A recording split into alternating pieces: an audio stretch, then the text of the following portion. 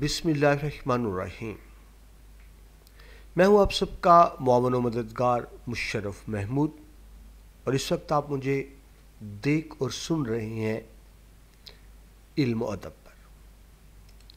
आपका बेटा अपना channel C M M lectures जिसका नाम अब इल्म अदब है, मैं इल्म अदब से आप सबको खुश आमदेद कहता हूँ। जो स्टूडेंट्स इस वक्त हम सेकेंड ईयर पाक स्टडी की बुक कर रहे हैं। आखिरी चैप्टर है, अल्हम्दुलिल्लाह। स्पोर्ट्स के हवाले से आज पेज नंबर सेवेंटी वन में हमें देखना है, खेलों के हवाले से दुनिया में पाकिस्तान का मकाम। आप जानते हैं कि खेल किसी भी कौम की तामीर और तरक्की में अहम किरदार अदा करते हैं। बेटा हम पहले पढ़ चुके हैं, जस्ट मैं रिकैप कर रहा हूँ। खेल अफराद के लिए भी अहम है जिस्मानी सेहत के लिए जहनी सेहत के लिए। बड़ा मशहूर जुमला कि एक सेहतमंद जिसम में ही सेहतमंद दिमाग होता है। और एक बहुत मशहूर कहावत कि जिस कौम के खेलों के मैदान आबाद होते हैं, वहाँ के अस्पताल वैरान हो जाते हैं। ज़ाहिर है, जब नौजवान नस्ल खेलों की तरफ़ आएगी तो फिर बीमारियों से बची रहेगी। ये तो इनफरादी फ़ायदे हो गए। बेटा कौमी बैन अवी फ़ायदे भी होते हैं। खेल दुनिया में पहचान बनते हैं। दुनिया में तारुफ बनते हैं बेटा। खिलाड़ी जब दूसरे मुल्क में जाके खेलते हैं, बैन अवी टूर्नामेंट्स होते हैं वर्ल्ड कप होते हैं चैम्पियन ट्रॉफीज़ होती हैं तो खेल के ज़रिए मुल्क का झंडा सरबुलंद होता है, दुनिया उस मुल्क को जानती है। पाकिस्तान जब बना तो ज़ाहिर है सब मुल्कों को पता नहीं था, लेकिन जब पाकिस्तान ने इंग्लैंड से पहली मरतबा टेस्ट मैच जीता तो दुनिया को पता चला कि पाकिस्तान भी कोई मुल्क है। जिस तरह आप जानते हैं, आजकल कतर में फ़ुटबॉल का वर्ल्ड कप हो रहा है तो कतर इस्लामी मुल्क बेटा जिसमें पहली मरतबा वर्ल्ड कप हुआ फुटबॉल का तो उन्होंने बड़े खूबसूरत अंदाज से इस्लामी तहजीब को मुतारफ़ कराया। आपने देखा कि जब वर्ल्ड कप का आगाज़ तिलावत कुरान पाक से हुआ, इस्लामी तहजीब को बहुत ही खूबसूरत अंदाज से दुनिया के सामने पेश किया कतर ने किसके ज़रिए? स्पोर्ट्स के ज़रिए। तो खेल अफराद और कौम की तामीर तरक्की में भी अहम किरदार अदा करते हैं। और किसी भी मुल्क और कौम की शनाख्त भी बनते हैं। इसी वाले से बेटा पाकिस्तान ने भी बड़ी शानदार करदगी का मुजाहरा किया। बहुत से खेलों में पाकिस्तान की कारकर्दगी यकीनन बड़ी खूबसूरत रही। इसी हवाले से बेटा हमने इस चैप्टर में पढ़ना है कि खेलों के हवाले से पाकिस्तान का क्या किरदार रहा। सबसे पहले बेटा देखें जो आपकी बुक पे नहीं, बुनियादी तारुफ, पाकिस्तान स्पोर्ट्स बोर्ड, पाकिस्तान बेटा एक इदारा है, पाकिस्तान स्पोर्ट्स बोर्ड के नाम से, जिसका काम ही यही है कि मुल्क में खेलों की तरवीज के लिए काम करे, खेलों की तामीर और तरक्की के लिए काम करता है पाकिस्तान स्पोर्ट्स बोर्ड, और बड़ा अहम किरदार रहा अब तक कौमी सतह पर और बैन अवी सतह पर खेलों के फ़रोग में पाकिस्तान स्पोर्ट्स बोर्ड का, जिसका बेटा आप लोगों देख रहे हैं। आगे चलें। तो ये बेटा एक शानदार तस्वीर आप देख रहे हैं। पाकिस्तान की कामयाबियों का मुँह बोलता सबूत। आपको इसमें चार पिक्चर्स नज़र आ रही हैं। अगर आप देखें राइट साइड पर पहली तस्वीर जो है, ये बेटा मोहम्मद यूसुफ है स्नूकर के खिलाड़ी। जिन्होंने पहली मरतबा स्नूकर वर्ल्ड चैम्पियन जीती और स्नूकर में बहुत शानदार करतगी का मुजाहरा किया मोहम्मद यूसुफ ने। तो पाकिस्तान इनकी वजह से स्नूकर का वर्ल्ड चैम्पियन रहा और पाकिस्तान का नाम रोशन हुआ। दूसरे नंबर पर आप तस्वीर देख रहे हैं ये है बेटा जहांगीर खान, स्क्वाश की दुनिया के बेताज बादशाह। जहांगीर खान और उनके बाद फिर जान शेर खान। इन्होंने बहुत खूबसूरत किरदार अदा किया। पाकिस्तान जिस खेल में सबसे ज़्यादा मरतबा वर्ल्ड चैम्पियन रहा, वो स्क्वाश ही है, जिसमें जहांगीर खान और जाम शेर खान का नाम आता है। तीसरी तस्वीर बेटा हॉकी के हवाले से है। हॉकी पाकिस्तान का कौमी खेल। पाकिस्तान मुतद बार हॉकी का वर्ल्ड कप और चैम्पियन ट्रॉफी जीत चुका है, बेशुमार टूर्नामेंट जीत चुका है।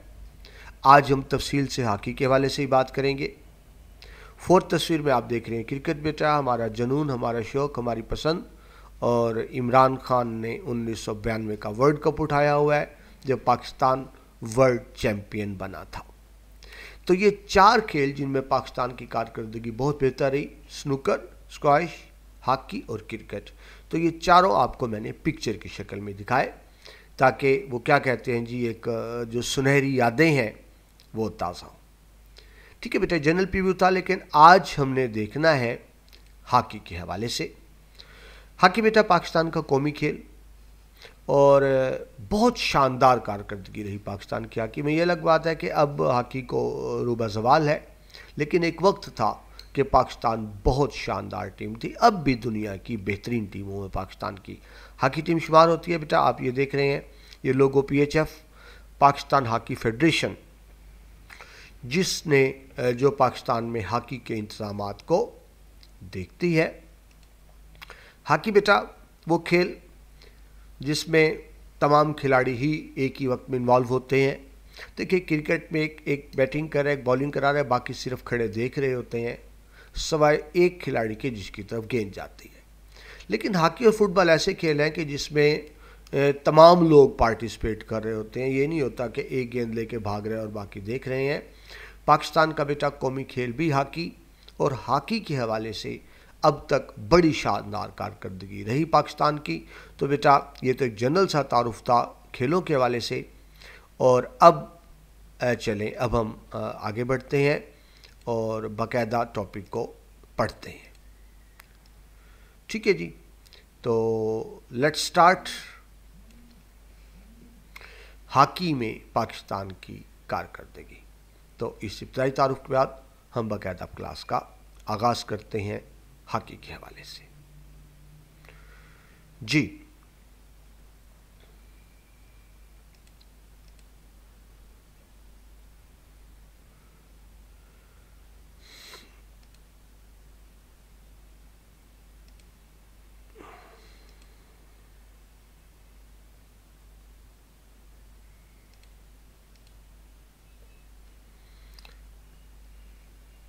आपकी बेटा बुक से अगर लेकर चले हम तो बुक की स्लाइड ही इस वक्त आप देख रहे हैं।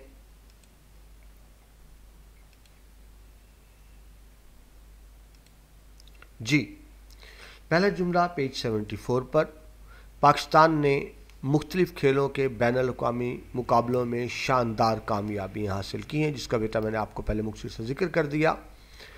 इनमें से चंद खेलों का ज़िक्र अब हम करेंगे। चंद खेलों का क्या मतलब?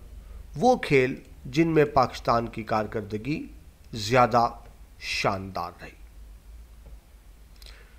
उनमें से चंद खेलों का ज़िक्र यहाँ पे हम कर रहे हैं और पहले नंबर पर हॉकी ही है। जी, जिसका बेटा मैंने भी आपको तारुफ कराया।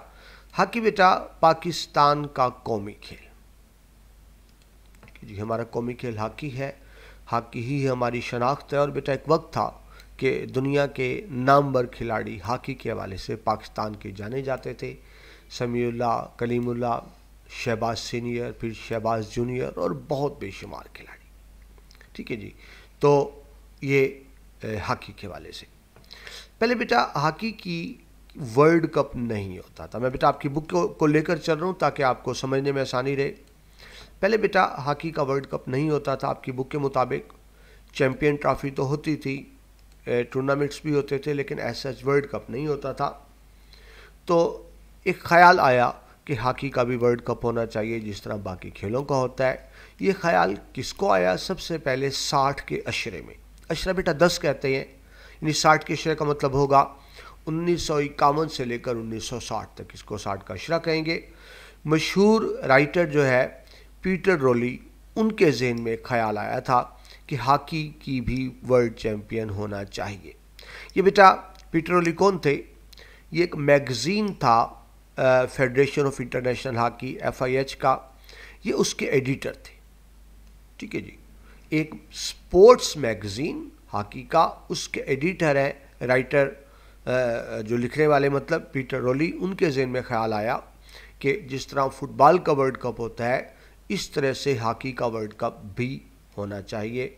सो उन्होंने इसका इजहार पहली दफ़ा किया। यानी अगर आपको ये क्वेश्चन आ सकता है कि पहली दफ़ा ये बात किसने की तो आपने देख लिया। उन्होंने महसूस किया कि जिस तरह फुटबॉल में आजकल जो हो भी रहा है कि तमाम दुनिया की टीम एक जगह पर इकट्ठी होती हैं तो ऐसे ही हॉकी का भी होना चाहिए कि तमाम दुनिया की टीमें एक जगह पे इकट्ठी हों। ख्याल किसको आया सबसे पहले? एक राइटर को। मैगज़ीन के। लेकिन इसको इम्प्लीमेंट करने में सबसे बुनियादी किरदार बेटा पाकिस्तान का था। जो आप हॉकी का वर्ल्ड कप देख रहे रहते हैं तो इसमें बुनियादी किरदार पाकिस्तान का ही था, जिस आप स्लाइड में देख रहे हैं। इस ख्याल को हकीकत का रूप देने वाले कौन है बेटा? Air marshal Noor Khan air marshal बेटा पाकिस्तान की फ़िज़ाइया के सरबराह रहे और बाद में सियासत में भी आए। ये हॉकी फेडरेशन के सदर थे। तो पाकिस्तान हॉकी फेडरेशन के सदर नूर खान, उन्होंने इस तजवीज़ को अमली जामा पहनाने के लिए कोशिशें की कि जिस तरह से फ़ुटबॉल का वर्ल्ड कप होता है, बिल्कुल ऐसे ही हॉकी का वर्ल्ड कप भी होना चाहिए। पाकिस्तान का बेटा इंटरेस्ट क्यों था? जिस तरह आपने पहले देखा कि हॉकी पाकिस्तान का कौमी खेल भी था और हॉकी में पाकिस्तान की यकीनन कारकर्दगी भी शानदार रही थी। ठीक है जी? 1969 बेटा उन्नीस सौ उनहत्तर में लाहौर में मुनदा हॉकी टूर्नामेंट। हॉकी टूर्नामेंट बेटा लाहौर में होता है, कब होता है? 1969 में होता है। उस वक्त इंटरनेशनल हॉकी फेडरेशन बेटा एफआईएच यानी फेडरेशन ऑफ़ इंटरनेशनल हॉकी। ठीक है, एफ़ आई एच मीन्स उस वक्त जो सदर थे, रैनी फ्रैंक उनको एक ट्रॉफ़ी पेश की। इंटरनेशनल हॉकी फेडरेशन के सदर को ट्रॉफ़ी दे रहे हैं। कौन दे रहे हैं? पाकिस्तान हॉकी फेडरेशन के सदर, जिनका आपने नाम पढ़ा, नूर खान। मुतवक़ ट्रॉफ़ी कि अगर हॉकी का वर्ल्ड कप कराया जाए तो उसमें ये ट्रॉफ़ी हो सकती है। यानी मतलब ये है कि पाकिस्तान की तरफ़ से तजवीज़ की गई कि हॉकी का वर्ल्ड कप होना चाहिए। उसके लिए एक फ़र्ज़ी तस्वराती ट्रॉफ़ी बनाई गई कि जो हॉकी का वर्ल्ड कप होगा, उसको ट्रॉफ़ी दी जाएगी। और पाकिस्तान हॉकी फेडरेशन के सदर ने वो ट्रॉफ़ी किसको पेश की? इंटरनेशनल हॉकी फेडरेशन के सदर को।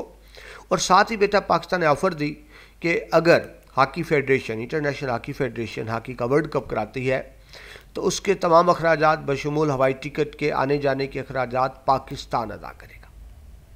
यानी सादा लफ्ज़ में यूँ समझें कि पाकिस्तान ने मेज़बानी की पेशकश की कि अगर इंटरनेशनल हॉकी फेडरेशन हॉकी का वर्ल्ड कप कराती है तो उसके अखराज भी पाकिस्तान अदा करेगा और वो तमाम टीमों के हवाई टिकट के अखराज भी पाकिस्तान अदा करेगा। यानी पाकिस्तान सर तरफ़ से एक ऑफ़र दी गई कि हॉकी का वर्ल्ड कप होना चाहिए। किस तरह से? जिस तरह से हमेशा से फुटबॉल का वर्ल्ड कप होता है। ठीक है जी। उसी साल बेटा आईएचएफ इंटरनेशनल हॉकी फेडरेशन के इजलास में पाकिस्तान ने बाकायदा भी तजवीज़ पेश की हॉकी के वर्ल्ड कप की और 1970 में इसकी मंजूरी दे दी मंजूरी किसने दी थी? इंटरनेशनल हॉकी फेडरेशन ने। इंटरनेशनल हॉकी फेडरेशन ने, दोबारा समझ लें, पाकिस्तान की तजवीज़ पर हॉकी का वर्ल्ड कप कराने की मंजूरी दी। कब दी? अप्रैल 1970 में। अब ज़ाहिर बेटा, क्योंकि तजवीज़ पाकिस्तान की तरफ़ से थी तो इसका एक सीधा सा मतलब ये भी था कि जब हॉकी का पहला वर्ल्ड कप होगा, पाकिस्तान ने तजवीज़ दी इंटरनेशनल हॉकी फेडरेशन ने उस तजवीज़ को तस्लीम कर लिया। तो अब इसके मुताबिक बनता यह था कि पहला वर्ल्ड कप पाकिस्तान में होना चाहिए था और ये तय हुआ कि हॉकी का वर्ल्ड कप होगा। और क्योंकि तजवीज़ पाकिस्तान की तरफ़ से आई है, पाकिस्तान की तजवीज़ मंजूर की गई है तो पहला हॉकी का वर्ल्ड कप पाकिस्तान मुनद होगा कब अगले साल, यानी 1971 में। 1970 में तजवीज़ मंजूर हुई क्या कि 1971 में पाकिस्तान में हॉकी का वर्ल्ड कप कराया जाएगा। लेकिन बेटा आप जानते हैं उन्नीस सौ इकहत्तर में पाक भारत जंग हुई और जंग तो खैर, उन्नीस उन्नीस सितंबर में हुई थी। लेकिन जैसे ही बेटा 1971 शुरू हालात ख़राब होना शुरू हो गए थे। यानी दोनों मुल्कों के बॉर्डर पर फ़ौजें आ चुकी थी, हालात खासे कशीदा थे। तो इन कशीदा हालात में मुमकिन नहीं था कि हॉकी का वर्ल्ड कप पाकिस्तान कराया जाता एक तो यह है कि सरहद पे सूरत हाल कशीदा थी। ठीक है जी? पाकिस्तान के लिए सिक्योरिटी के मसाइल थे। और सीधी बात है, दूसरे मुल्कों की टीम में भी आने में हचकिचा रही थी कि पाकिस्तान में मामला गड़बड़ थे, जंग के ख़तरात। जब बेटा जंग के ख़तरात मंडला रहे हो, वहाँ पे टूर्नामेंट्स तो नहीं हुआ करते ना। तो होना तो ये था कि ये टूर्नामेंट पाकिस्तान में होता। लेकिन मुतवक़ो पार भारत जंग की वजह से ये पाकिस्तान को विड्रॉ करना यानी पाकिस्तान ने विड्रॉ कर लिया कि ठीक है जी अब वर्ल्ड कप तो कराएँ, किसी और मुल्क में करा लें। पाकिस्तान ने बेशक ना कराएँ, लेकिन कराएँ ज़रूर। देखें, पाकिस्तान का एहसार देखें, पाकिस्तान ने ये नहीं कहा वर्ल्ड कप ना हो, क्योंकि पाकिस्तान के कहने पर हो रहा था ना। तो कहा यह कि वर्ल्ड कप ज़रूर करवाया जाए। हाँ ये है कि चले, किसी और मुल्क में करा लीजिए लेकिन पाकिस्तान एक शर्त भी रखी कि इंडिया में नहीं होना चाहिए। क्योंकि देखिए, कशीदगी तो पाकिस्तान, भारत में थी ना। अगर कशीदगी की फ़िज़ा पाकिस्तान में थी तो जहन में रखे, यही कशीदगी की फ़िज़ा भारत में भी थी। तो फिर ये तो मुमकिन नहीं था ना कि पाकिस्तान में तो ना हो, भारत में हो। तो पाकिस्तान ने शर्त रखी कि भारत में ना हो, क्योंकि वहाँ भी कशीदगी की फ़िज़ा है। हाँ कराया ज़रूर जाए, किसी और मुल्क में करा लिया जाए पाकिस्तान भारत के अलावा। हालाँकि मेज़बानी पाकिस्तान ही को करनी थी, लेकिन पाकिस्तान खुद विड्रा हो गया। क्यों बेटा विड्रा हुआ? ताकि खुदा न खास्ता ऐसा ना हो कि वर्ल्ड कप रुक जाए, वर्ल्ड कप होना चाहिए, कहीं भी हो जाए। ठीक है जी? लिहाजा बेटा, इंटरनेशनल हॉकी फेडरेशन, एचआईएफ ने फिर स्पेन को स्पेन बेटा एक कंट्री जिसको आप स्पेन भी कहते हैं, उंदलस भी कहते हैं, स्पानिया भी कहते हैं। तो स्पेन के शहर बार्सिलोना में पहला हॉकी का वर्ल्ड कप मुनद किया गया, कब? उन्नीस सौ इकहत्तर में। पाकिस्तान की तजवीज़ पे हुआ। होना भी पाकिस्तान था लेकिन पाकिस्तान ने विड्रा किया, वजह बेटा आपको तफसील से बताई। तो फिर ये स्पेन के शहर बार्सिलोना में ये वर्ल्ड कप मुनद किया गया और बेटा हॉकी की दस बेहतरीन टीमों ने इसमें हिस्सा लिया। ये पहला वर्ल्ड कप था हॉकी का, जो पाकिस्तान की तजवीज़ पर पाकिस्तान के कहने पे हो रहा था और इस पहले वर्ल्ड कप में पाकिस्तान ने शानदार कामयाबी हासिल की और हॉकी का पहला वर्ल्ड चैंपियन भी पाकिस्तान बना। उन्नीस सौ इकहत्तर में स्पेन के शहर बार्सिलोना में हॉकी का वर्ल्ड कप हो रहा है, जिसका वर्ल्ड चैंपियन पाकिस्तान बना। ठीक है जी। ये बेटा पाकिस्तान के लिए साल अहम था। उसी साल Pakistan Olympian, Olympic hockey champion भी बना और उसी साल पाकिस्तान एशियन चैंपियन भी बना था। आ, ये जो हॉकी वर्ल्ड कप का बेटा सेमीफाइनल था उसमें पाकिस्तान ने भारत को शिकस्त दी थी। भारत के साथ तो बेटा पता है ना हमारे एक भारत के साथ जब मैच होता है ना तो वो एक बहुत ही ज़बरदस्त मैच होता है। वो हॉकी का हो वो क्रिकेट का हो वो वो कबड्डी का हो हम तीन मैच ही खेलते हैं ये बड़े ज़बरदस्त होते हैं। तो पहले वर्ल्ड कप में पाकिस्तान का मुकाबला सेमीफाइनल में भारत से हुआ था। पाकिस्तान ने भारत को शिकस्त देकर सेमीफाइनल जीता। और फाइनल में पाकिस्तान का मुकाबला स्पेन से हुआ। स्पेन कौन बेटा? मेज़बान मुल्क था जहाँ पे वर्ल्ड कप स्पेन में ही हो रहा था। तो स्पेन को भी शिकस्त दी। और यूँ बेटा, पहली मरतबा जो वर्ल्ड कप हुआ था हॉकी का हॉकी का वर्ल्ड कप भी पहला है और उसका पहला वर्ल्ड चैम्पियन भी पाकिस्तान ही बना। इसके बाद बेटा, हॉकी का जो चौथा वर्ल्ड कप हुआ उसमें पाकिस्तान ने दोबारा फिर एजाज़ हासिल किया। यानी हॉकी का पहला वर्ल्ड चैम्पियन भी पाकिस्तान था और जो चौथी मरतबा हॉकी का वर्ल्ड कप हुआ, वो उसका चैम्पियन भी पाकिस्तानी बना। ये बेटा चौथा वर्ल्ड कप कहाँ हुआ था? अर्जेंटाइन के शहर ब्यूनस आयरस में हुआ था। ठीक है जी। और इसमें एक अहम बात यह थी, चौथा वर्ल्ड कप जो पाकिस्तान ने जीता, पाकिस्तान ने तमाम मैच जीते। मतलब ऐसा नहीं कि कोई मैच जीता और कुछ हारा और फिर पॉइंट्स की बुनियाद पर फाइनल पहुँचा। पहले मैच से फाइनल तक पाकिस्तान ने तमाम मैच जीते और फिर फाइनल भी जीतकर पाकिस्तान हॉकी का वर्ल्ड कप बना वर्ल्ड चैंपियन बना। चौथा वर्ल्ड कप जो अर्जेंटाइन में हुआ था। ठीक है जी। उस वक्त बेटा आपकी हॉकी की टीम के कप्तान सलाहुद्दीन थे, जिनकी तस्वीर अभी आपने बिल्कुल शुरू में देखी है। उन्नीस में जो वर्ल्ड कप हो रहा है ये भारत में हुआ, इंडिया में। इस वक्त पाकिस्तानी टीम के कप्तान अख्तर रसूल थे और ये उनका अलविदाई आखिरी मैच था और उनका आखिरी मैच बड़ा ही शानदार रहा। इस मैच में पाकिस्तान ने फिर वर्ल्ड कप जीता, तीसरी मरतबा। कब? उन्नीस सौ बयासी में 1982 में पाकिस्तान अपने एजाज़ का दिफा करने में कामयाब रही। यानी पिछला चैंपियन भी पाकिस्तान था और नेक्स्ट चैंपियन भी इसके मुताबिक पाकिस्तान इसी टूर्नामेंट में बड़ी शानदार कारकर्दगी रही किसकी? हसन सरदार की। उनकी जादूगरी तो देखें, जादूगरी क्या मतलब? गेंद को लेकर चलते थे और गोल कर देते और मुखालिफ टीम को समझ ही नहीं आती थी कि गेंद किस तरह वहाँ तक पहुँची। उन्होंने 11 खूबसूरत गोल की ये ग्यारह खूबसूरत गोल किसने बेटा? सिर्फ़ हसन सरदार के 11 खूबसूरत गोलों की वजह से पाकिस्तान ये मैच ये टूर्नामेंट जीतने में कामयाब हुआ। इसके बाद बेटा, एक मरतबा फिर। ये बेटा लफ्ज़ दुरुस्त कर दूँ मैं। एक मरतबा फिर 1990 में पाकिस्तान ने पहली मरतबा मेज़बानी की। यानी बेटा 1990 में जो हॉकी का वर्ल्ड कप हुआ, वो पाकिस्तान में हुआ पहली मरतबा। हालाँकि जो पहला पहला वर्ल्ड कप था, वो भी पाकिस्तान ही होना था, लेकिन आपको मैंने बताया वो जंग की सूरत हाल की वजह से नहीं हो सका था।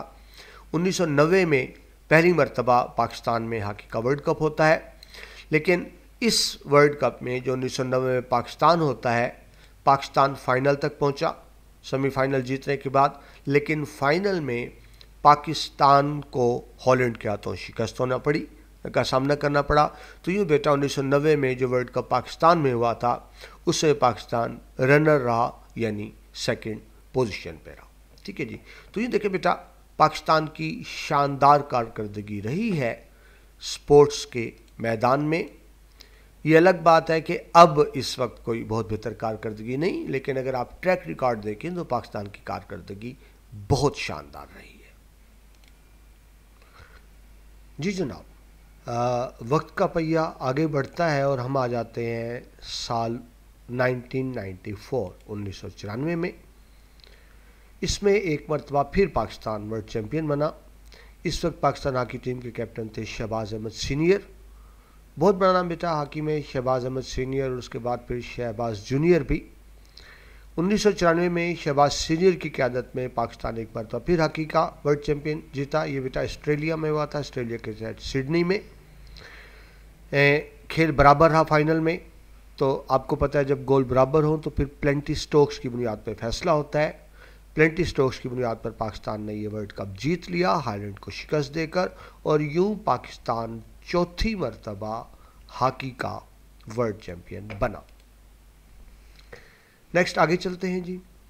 कुछ आपको बेटा एडिशनल मालूम दी गई हैं आगे, कि क्या आप जानते हैं हॉकी का वर्ल्ड कप हर चार साल बाद होता है। यानी बेटा अच्छा क्रिकेट का भी ऐसा ही है। क्योंकि अगर हर साल हो तो फिर उसकी अहमियत नहीं रहती। फुटबॉल का भी और हॉकी का भी और क्रिकेट का भी वर्ल्ड कप हर चार साल बाद होता है। और जिस तरह हमने अभी देखा कि पाकिस्तान अब तक चार मरतबा हॉकी का वर्ल्ड कप जीत चुका है। ठीक है बेटा? तो ये तो पाकिस्तान की कारकर्दगी थी हॉकी वर्ल्ड कप के वाले से। आगे चलते हैं ओलंपिक्स। हॉकी के बेटा ओलंपिक्स पहले भी होते थे और अब भी होते हैं। तो आप ये समझ लें कि हॉकी के दो बड़े टूर्नामेंट्स होते हैं। एक तो ओलंपिक्स होते हैं और दूसरे वर्ल्ड कप होते हैं। ओलंपिक्स बेटा पहले से चल रहे हैं। ओलंपिक्स की तारीख खासी पुरानी है। आपको पता है वर्ल्ड ओलंपिक्स होते हैं जिनमें बहुत से खेल होते हैं और हॉकी भी है। फ़र्क यह है, देखिए जब वर्ल्ड कप की बात करेंगे तो वो हॉकी का वर्ल्ड कप अलग होगा, क्रिकेट का वर्ल्ड कप अलग होगा, फुटबॉल का वर्ल्ड कप जो आजकल हो रहा है वो अलग है। लेकिन जब ओलंपिक्स की बात करते हैं तो उसमें सारी खेलें आ जाती हैं और हॉकी भी आ जाती है। ठीक है? तो ये फ़र्क जहन में रखिएगा ओलंपिक्स और वर्ल्ड कप का। तो अब तक हमने देखा, वर्ल्ड कप में पाकिस्तान की कारकर्दगी हॉकी टीम की, और अब हम देख रहे हैं ओलंपिक्स गेम्स में पाकिस्तानी हॉकी टीम की कारकर्दगी। पाकिस्तान बेटा, जितने भी ओलंपिक्स हुए, ज़ाहिर है सब में शामिल रहा पाकिस्तान। बहुत शानदार तो नहीं कारकर्दगी रही, हम ये तो नहीं कह सकते बहुत अला कारकर्दगी, लेकिन फिर भी बहुत से शोबों में पाकिस्तान की कारकर्दगी बेहतर रही है, जिनमें हॉकी भी शामिल है। अब तक बेटा, अगर आप ओलंपिक्स की बात करें तो ओलंपिक्स गेम के वाले से हमने तीन गोल्ड मेडल जीते हैं, यानी तीन मरतबा पाकिस्तान हॉकी का भी ओलंपिक चैम्पियन रहा है। हमने भी क्या पढ़ा? World cup. वर्ल्ड कप में पाकिस्तान हॉकी का, हॉकी वर्ल्ड कप का चैंपियन रहा चार मरतबा। अब हम ओलंपिक्स गेम देख रहे हैं तो ओलंपिक्स में रहा तीन मरतबा। तीन मरतबा सोने के तगमे तमगे, लेकिन यानी पाकिस्तान जीता। तीन मरतबा चांदी। चांदी बेटा कहते हैं जो सेकंड पोजीशन पे, जो रनर कहते हैं। तो तीन मरतबा हम चैंपियंस रहे हॉकी के। तीन मरतबा ही रनर्स रहे, यानी दो मर दूसरे नंबर पर आए और दो मरतबा कांसी के तमगे कांसी का मतलब होता है तीसरे नंबर पर आना। ठीक है जी?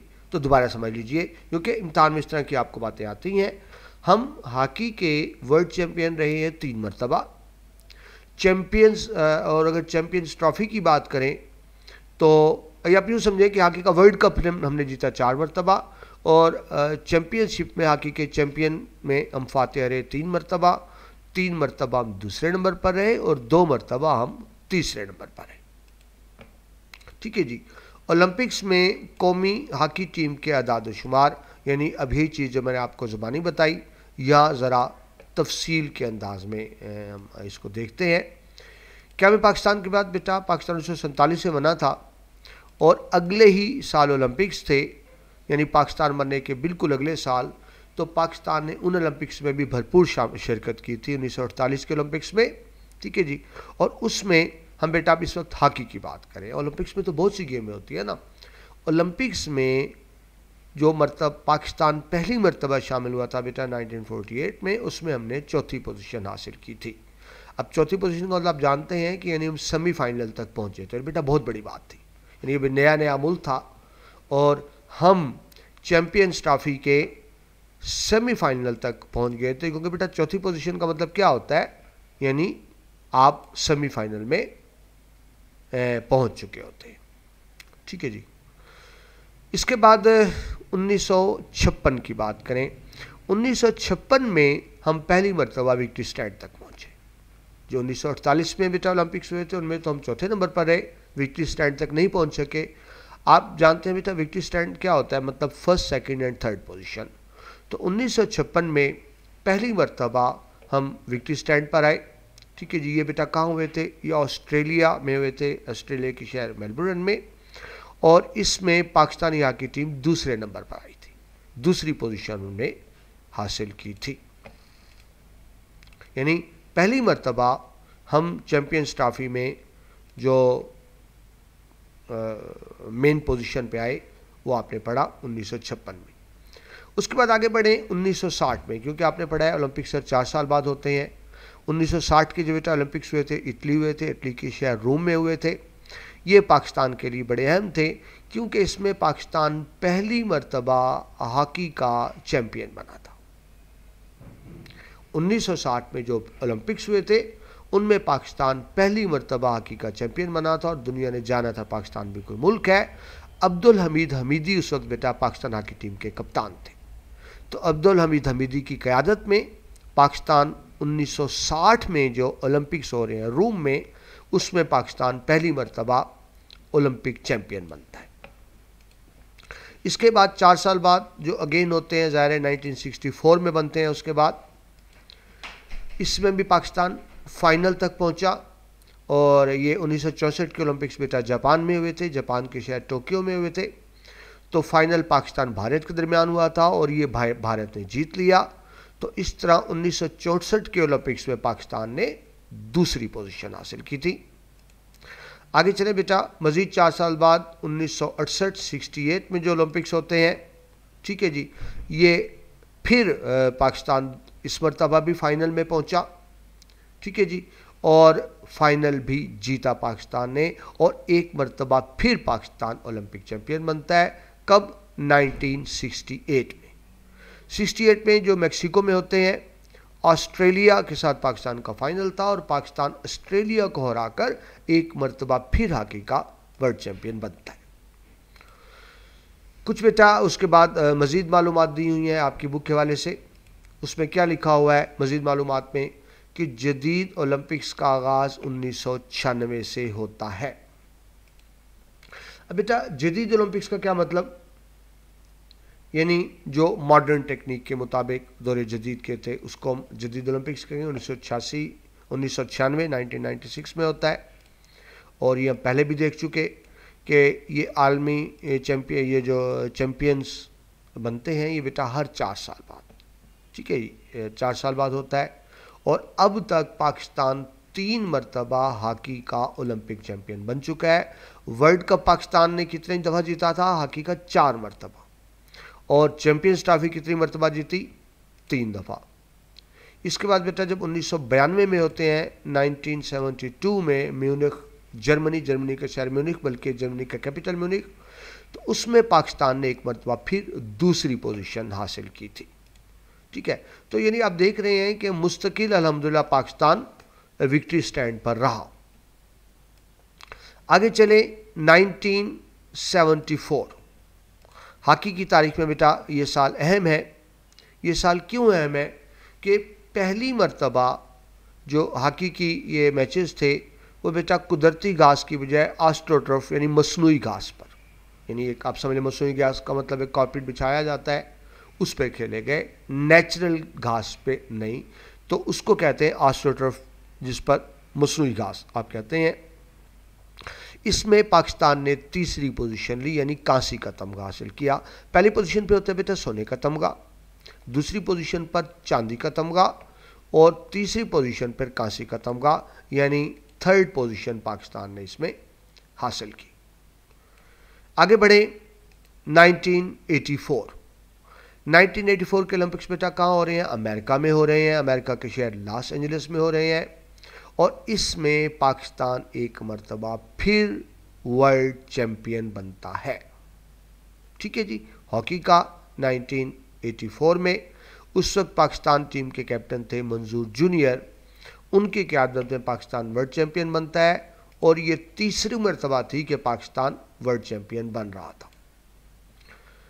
1992 में आई उन्नीस में। ये बेटा फिर स्पेन में हुए थे। स्पेन के शहर बार्सिलोना में। इसमें पाकिस्तान टीम की क्यादत शहबाज अहमद कर रहे थे और एक मरतबा फिर हमने इसमें तीसरी पोजीशन थर्ड पोजीशन हासिल की थी। ये तो बेटा हमारी सबका कारकर्दगी रही। लेकिन उसके बाद हम देखते हैं उन्नीस के बाद पाकिस्तान में हॉकी का जवाल शुरू हो जाता है। यानी एक वक्त था कि हम जीत ही रहे थे, आपने देखा, और फिर जवाल शुरू हो गया।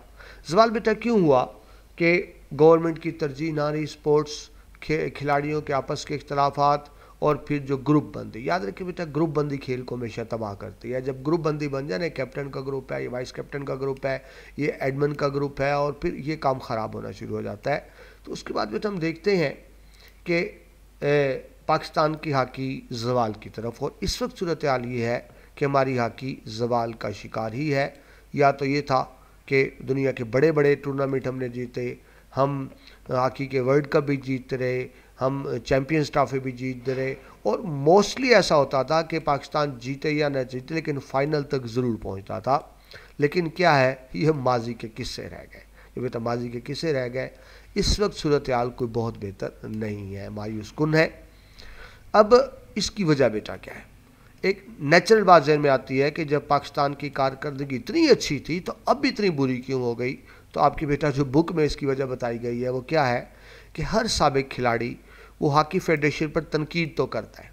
कि हॉकी फेडरेशन ठीक नहीं काम कर रही, लेकिन उसी खिलाड़ी को जब अहदा दे दिया जाए तो फिर वो कहता है, हॉकी फेडरेशन बहुत अच्छा काम कर रही है। बात समझे? यानी वो पिछले खिलाड़ी तनकीद करते हैं, हॉकी फेडरेशन को ये करना चाहिए, वो करना चाहिए, कारकर्दगी अच्छी नहीं है। अब हॉकी फेडरेशन क्या करती है? जो ज़्यादा तनकीद करता है ना, उसको कोई ना कोई अहदा दे देते हैं। उसकी तनख्वाह लग जाती है, उसको इख्तियार मिल जाते हैं और फिर साथ क्या होता है?